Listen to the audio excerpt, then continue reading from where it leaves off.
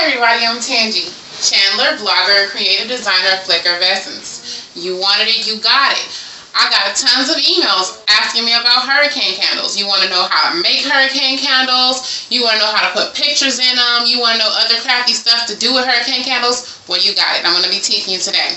For those of you who don't know what a hurricane candle is, your hurricane candle is basically your wax shell. So, of sorts, it's kind of like a candle holder, like these over here. Your basic shapes for hurricane candles will be squared and circled like the ones we have here. You'll also see them printed and with pictures on them. Today I'm going to teach you how to make it craft-tastic for those craft lovers out there. Okie dokie. So you'll notice I have this bowl of blue gems. These gems are kind of like, you know, little crystals.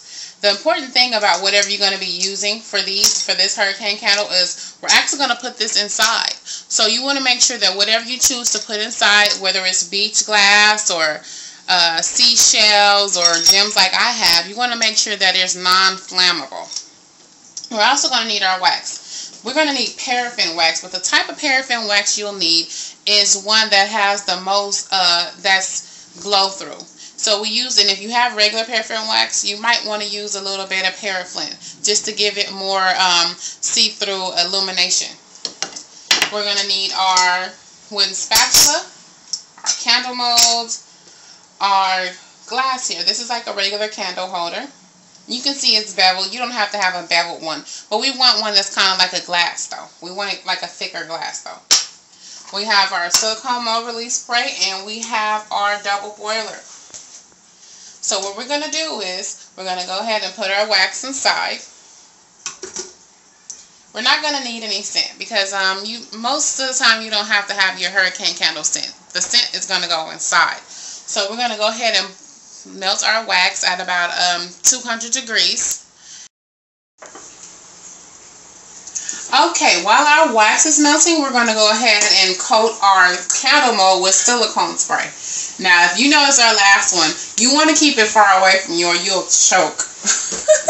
it's possible. So we're going to shake it up, make sure it's really far from us. We don't want any hazards there. Make sure you're coating it really well. And then we're going to put our glass, our candle holder, inside, upside down. Well, and when you have it inside the candle mold, you'll notice that there's that little hole there.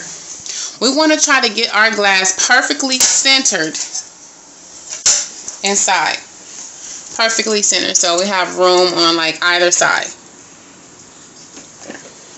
Okay. So while we have that there, we're going to add our non-flammable jewels inside. So I'm just going to hold that in the middle there. And to push those all around the side all the way at the bottom. I still want this to be in the middle. I want to be able to see those jewels, so I'm going to go ahead and pack them on in.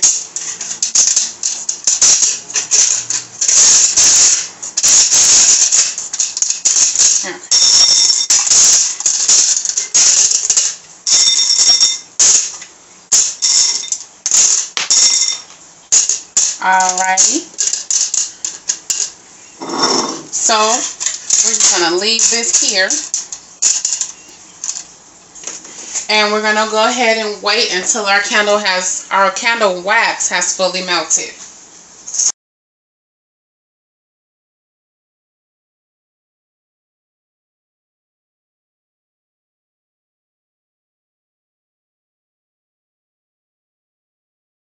Okay, everybody, our wax is up to temperature. We're ready to go ahead and pour. What you really need to, really, really need to know is because we didn't have anything to cover our little wick hole, we need to make sure that we're anchoring our glass, our glass candle holder inside. And we're going to do that by taking our wooden spatula and putting a, a whole lot of pressure on it. We make sure we're holding it down so there no, no air can get through and no wax can get through. So while we're holding this down with one hand really tight, to take the other hand and carefully go ahead and pour our wax in around the gem. And we're going to pour it all the way up here. And we're going to go ahead and continue to hold pressure down. If we let up pressure, then we're going to have a big mess with wax all over the place. And we also want to make sure that no wax is getting under our our glass holder there because then it'll mess up the, the finished polished look of our hurricane candle.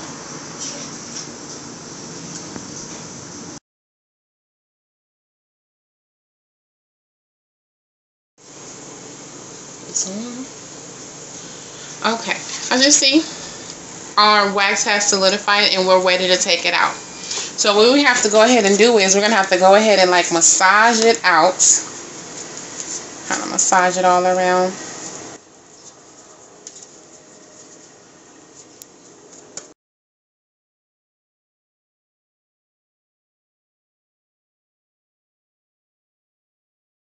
And it should come out really smooth just like that. And voila! We have our jewel imprinted hurricane candle. And with this glass is actually going to stay inside, which is also going to make your hurricane candle a lot more durable. So you can go ahead and throw your votives in, and you can go ahead and throw your tea lights in the flameless or otherwise, into our gorgeous hurricane candle and it'll be great. You don't have to worry about the wax melting or anything like that. And it's also really, really crafty. So go ahead and